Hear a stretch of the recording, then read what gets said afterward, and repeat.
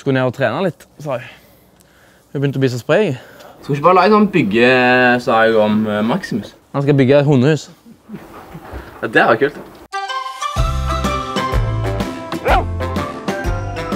Med sånn Nordland-kode Du slikker kanskje på Kan jeg, kan jeg få en liten sånn En eller annen hundevennlig form for inngangsdør? Jeg har hørt rykte om at Philip At Philip har kjøpt en tomt langt pokker i vann inn i skogen på Østlandet.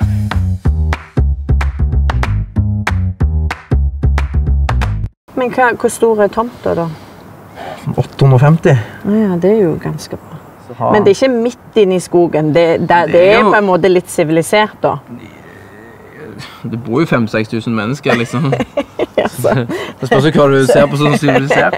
Drømmen er jo at det er et hus som skal være eh, fint, men det er liksom ikke hovedpoenget. det er at det skal funke i en hverdag, funke eh, over liksom litt flere livsfaser. At det på en måte ikke bare er et hus for her og nå, men at det skal liksom tåle endringer. da. Ja, og så går, så går du gjennom, og så kommer jentene. Eller er de her? Jentene? Vi har jo bare én. Jeg har ei, men det kommer jo flere jenter. Ja, du tror det. Med den utsikten du får ut mot eh, natur og sånn, så må du ha sinnssykt mye vinduer. Og store vinduer. Ja, det, klart det, blir, det blir et glasshus. Ja, et lite glasshus.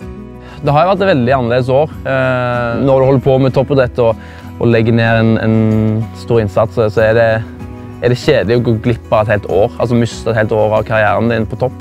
For det, man pensjonerer seg tidlig som løper. Men så er det jo en del en går glipp av hjemme, og, og, og det var godt å få tilbringe litt mer sånn lengre periode sammenhengende med familien og liksom hjemme i Norge. Da.